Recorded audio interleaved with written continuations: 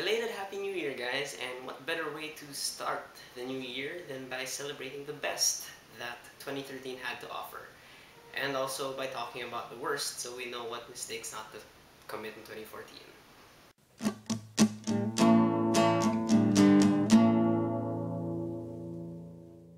So this is gonna be like a bottom five list of the worst movies I saw last year. And I know the usual thing is a top 10 or like a bottom 10, but I only wanted to do five because number one, I don't really like talking about movies I don't like.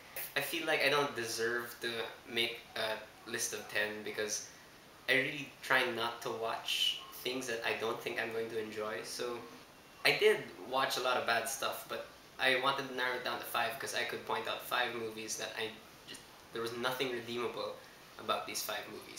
At number five, we have a perfect example of the January is filled with bad movies stereotype and also another really good reason why we shouldn't be remaking all these horror classics and that is Texas Chainsaw 3D. First of all, I don't know why the title is just Texas Chainsaw 3D. I mean, what if you watch it in 2D?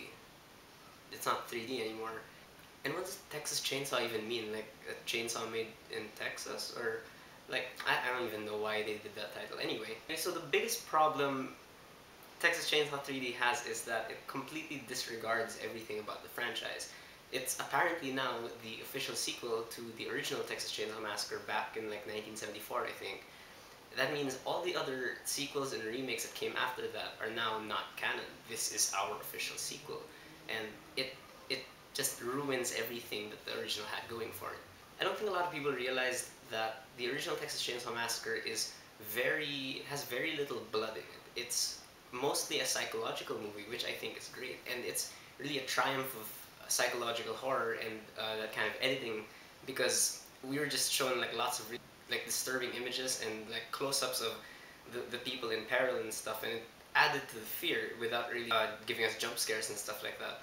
But now Texas Chainsaw 3D has become a generic slasher movie. It's it's full of gore. It's full of girls in like wearing nothing, and they also get the character of Leatherface wrong. I don't know how you do that. Based on just the first Texas Chainsaw Massacre, you don't really know anything about Leatherface other than the fact that he's a very simple-minded uh, kind of killer guy. Like he doesn't doesn't feel like he kills because he's evil. He kills because he doesn't really know anything else.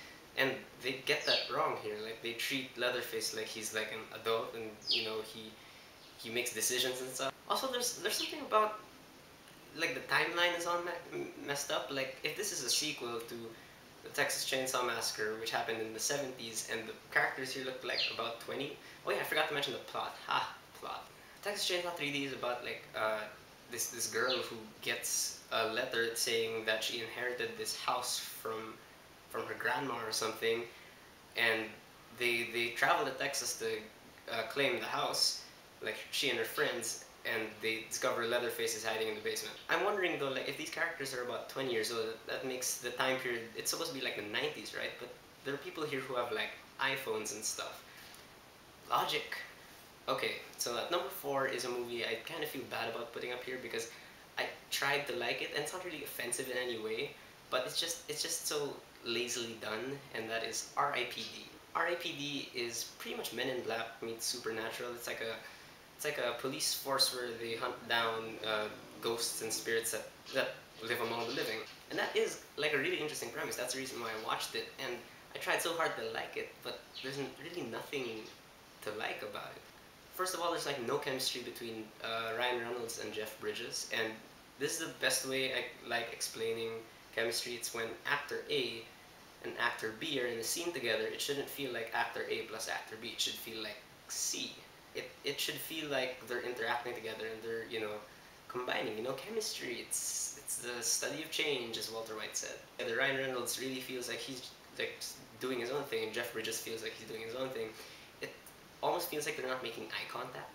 And the other aspects of the movie are also really lazily done. Like the CGI actually looks unfinished, and it's not like on an aesthetic level, it doesn't even look good.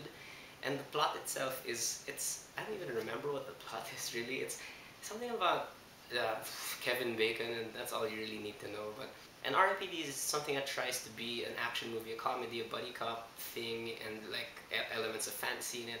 and it just fails at every single one of these. It's not funny. It's not the action scenes aren't. They're not. Yeah, they're not choreographed well. They don't look good, and the fantasy elements, as I said, the lore isn't good either. So, fortunately, R.I.P.D. just it's it's not good. Okay, so I do have some local movies on this too. I have a couple, um, and whenever I do a list like this, uh, the movies that will probably end up here are gonna be local movies from independent festivals because I don't know why, but when it comes to an independent festival, I try to watch every single one of them. And my number three comes from last year's Cinemalaya Film Festival, which had some of the best movies of the year, also had one of the worst, and that is The Diplomat Hotel. Diplomat Hotel is a movie that when I finished watching it, I couldn't call it a movie. It didn't feel like a movie. It felt like the first draft of a high school video for like a class project. And in fact, the first draft of that might even seem better than The Diplomat Hotel. Like 60 to 70% of the shots in this movie, for some reason, were out of focus. Why is that? I don't know.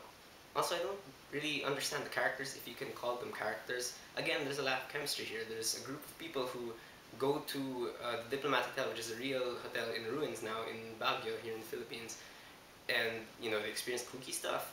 But the characters here, they all have like their own different story, but each is handled so poorly. And you never really get the feeling that uh, these people are in it together. I mean, good slasher movies, good horror movies uh, have a good sense of people being in a situation together.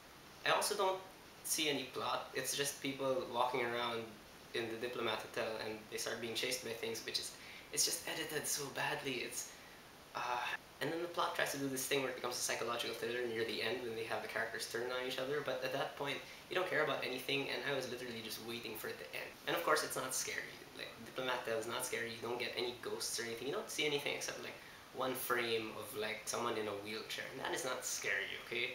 There's a difference between scary and jump scares, because jump scares are just cheap, you know? Um, there, there can be jump scares that are scary, but those are very hard to find. Okay, number two, and this is this is just a fun movie to talk about because it's so bad. Uh, Sadako 3D 2. Yes, that's the title. Like, you don't even see Sadako in this movie. You see a little girl who is not scary. It's just bad CGI everywhere.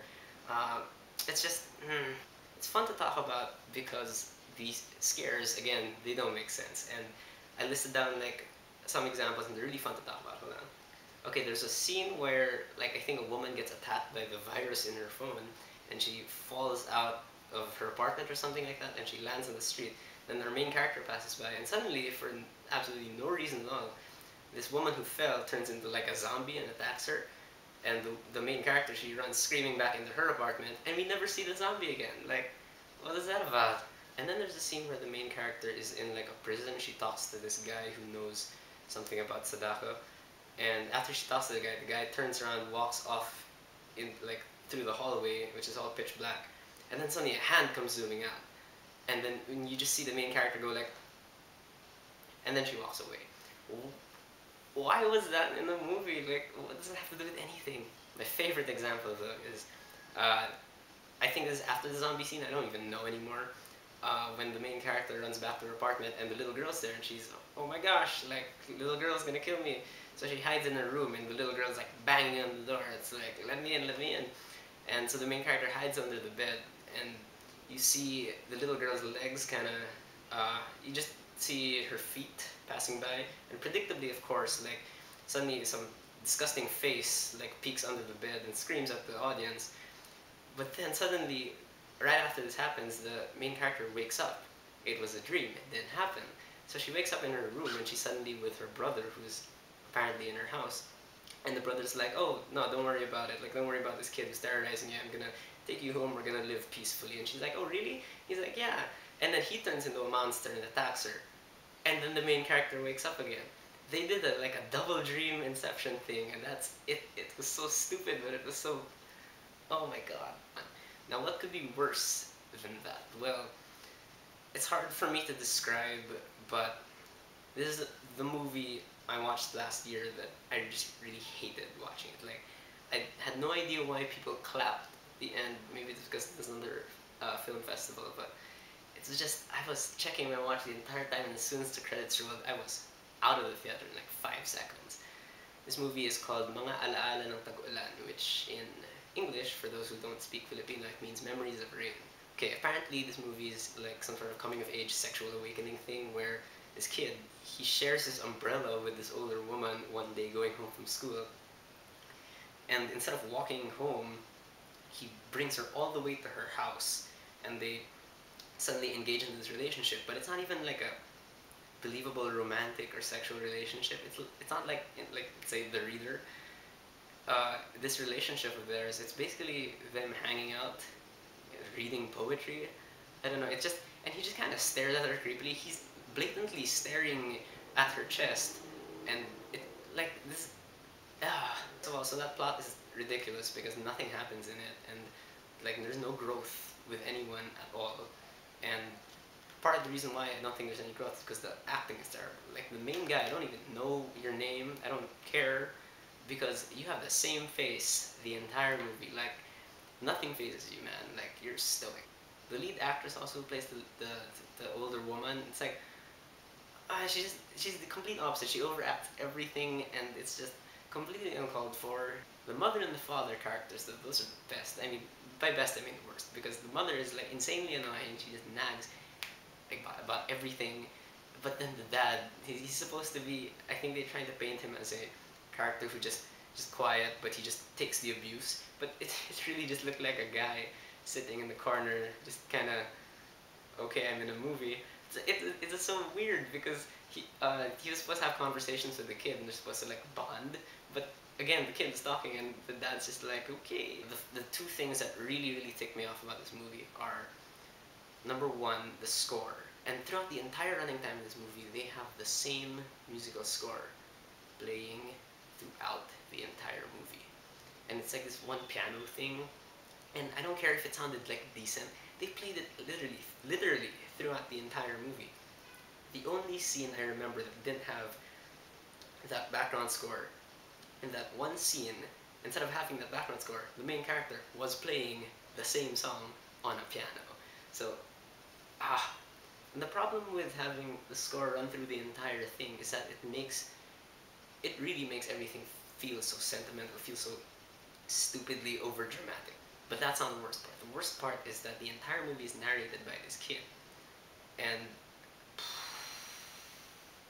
just think of someone whining but attempting to write poetry at the same time. And like the entire movie is narrated by this guy. Like he's just he's talking about oh, but I didn't know how to feel about her rejection because my heart was like, and I don't even know like oh my gosh. I mean, I'm fine with narration if it's done well, but here it's like like in a, in a scene where the father and the son are talking, and the son asks the father, like, hey dad, what do you think about this? And then instead of the dad answering, the, the, the father is still like doing that. And then instead of the father answering, the kid's voice suddenly comes in and answers for the father. Why is that? Why can't you just... I hated watching it. It's... It's... It took itself way too seriously and... So yeah, those are my five, the five worst movies I saw last year and please don't ever watch them. Like, I'm saving you the trouble. I'm telling you right now, if you ever see these movies showing anywhere for some reason, don't watch them. But what do you think about these worst films? Have you seen any of them? If you agree, if you disagree, whatever you think, please leave a comment below. And I look forward, of course, to having more conversations with you guys. See you around.